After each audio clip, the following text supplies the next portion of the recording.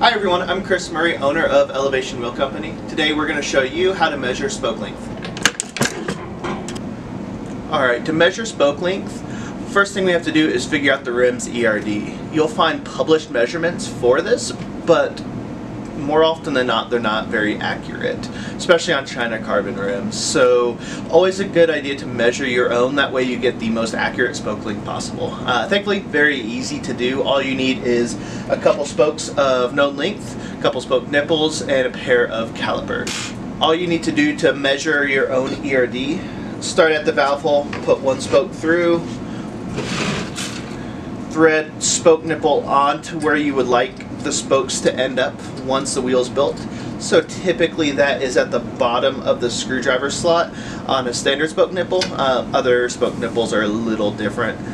Uh, but we'll do that on both sides. Take the other spoke, put it directly across from the one at the valve hole, and do the same thing.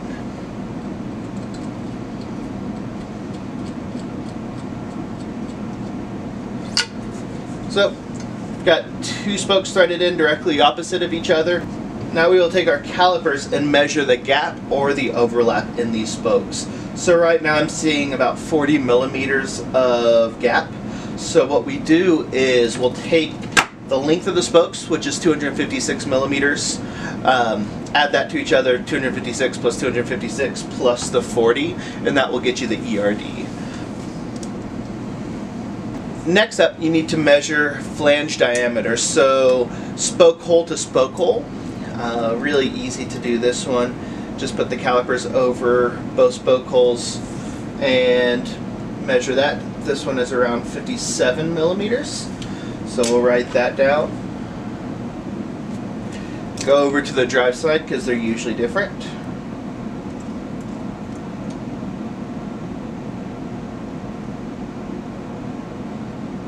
This one is around 65 millimeters. The other dimension you need to measure is what's called the center to flange. So, um, center line of the hub to the flange. The easiest, the easiest way to measure that is take your calipers, go end cap to end cap. So 148, cut that in half, which would put you at 74 so on the caliper 74, measure over to the flange. So, so that's 10, 20, 30, about 33 millimeters there. And then on the drive side, we're looking at about 10, 25. So about 25 millimeters on the drive side. Um, that measurement doesn't have to be exact. You've got to fairly good margin of error there. Plus or minus a couple millimeters is totally fine. Um, the other thing you'll need to know is the spoke count of your rims and hubs. Hopefully you know that by the time you've already ordered your parts.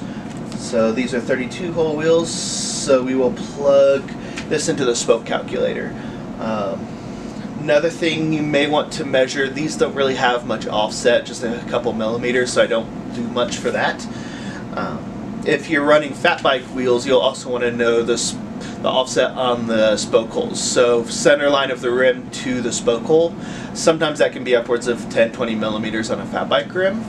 When we're, once you get that, you'll want to measure that or look up the specs on that. Um, when we plug all of this into the spoke calculator, that's where we adjust for spoke length for the offset for fat bikes.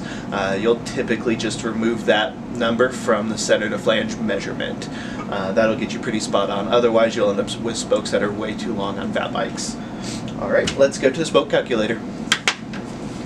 Okay, so now we need to pull up the spoke calculator. Personally, I like the one from Quality Bike. If you don't have a wholesale account with them, uh, DT also makes a nice quality spoke calculator. Uh, a lot of similar dimensions. You'll just have to make sure to hit like the user defined buttons before you put in any of your info. But back to the QBP one because I like it. It's simple. It works well. So our flange diameter on the non-drive side was 57, so we put 57 on the left, 65 on the right, our center to flange was 33 on the non-drive side and 25 on the drive side. Uh, spoke hole count was 32. and then over to our ERD came out to 552. Um, you can put offset in here. I like to do it manually, so I always put that at zero. Um, holes, hit submit. Don't need virus protection.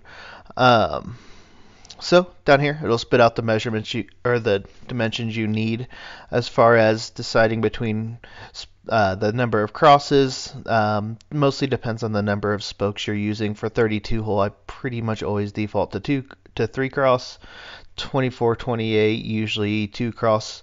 Um, and then anything above 32 hole, I usually go th- three cross for 36 as well. Anything beyond 36 hole, I usually do four cross. Um, but yeah, here's our dimensions we need. Um, you just cut your spokes to that, order your spokes to that if you don't have a spoke cutter. Um, if we were to do a fat bike hub, say it was a say it was a 50 millimeter left and 50 millimeters on the right. Um, all you would do if you had 10 millimeters of offset on the spoke holes, you would subtract 10 from that. So it was 50, you'd go to 40, you go to 40, and then that will adjust for your offset and your rims. Um, so that's all you've got to do there. Um, but yeah, hopefully you guys found this helpful. If you did, go ahead and click the subscribe button, and I will make sure to keep more content coming your way. Um, I'll also be posting a video after this on how to actually build the wheel so you can move on to the next step. Thanks for watching.